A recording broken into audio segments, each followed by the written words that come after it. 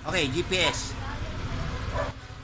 GPS tayo sa Aerox, saka simplified lang na setup.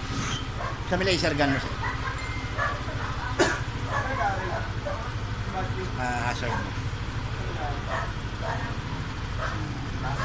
Yung Corsa. Busina. So, GPS yan na may kasamang Corsa or laser gun hazard. Simple-simple muna. So. Papatext natin kay sir yung ano, yung Aerox. So, tracking device, ilagyan natin siya yung Aerox. Saka may shutdown function siya through texting.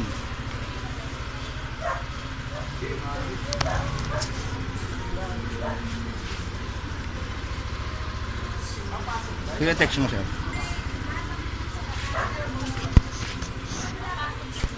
Text mo siya, relay 1.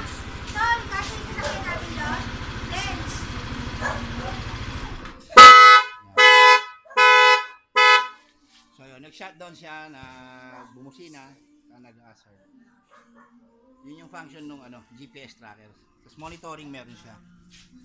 So punta sa apps. Sige, sa send mo na rin yan. Yung zero. Para mag-activate na ulit. Ayan, punta ka sa application. So may sarili siyang apps. GPS 1. So yun, nag-reply yung ano sa kanya. So ayan, nasa bahay ko. Pinti mo yung taas. Yung nasa kabila. Ito, ito, ito.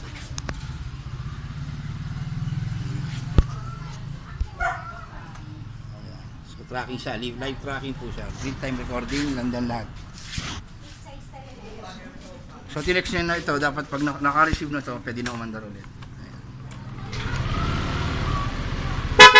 Ako na, para isang panggaan na.